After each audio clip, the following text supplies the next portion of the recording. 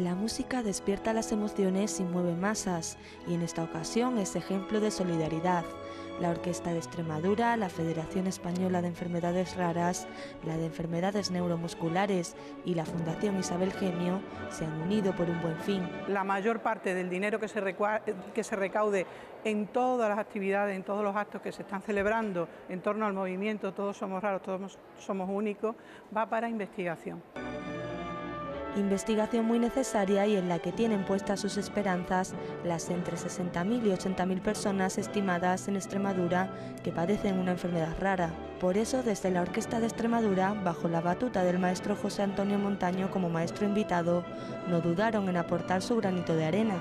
Sí, es una gozada trabajar, eh, ejercer nuestro oficio, ¿no? Si además eh, puedes ayudar de cualquier manera, haciendo conciertos benéficos, pues bueno, mejor que mejor. La Orquesta de Extremadura interpretó un programa único, con una primera parte con piezas de Mendelssohn, Grieg y Smetana, y la brillante Sexta Sinfonía de Beethoven en la segunda. Un concierto para disfrutar y para ayudar. Nosotros estamos muy emocionados y, muy ilusionados y nos gustaría que se hicieran muchas más cosas de este tipo. Unas 350 personas disfrutaron del concierto demostrando que la música es una buena fórmula para conseguir el compromiso solidario.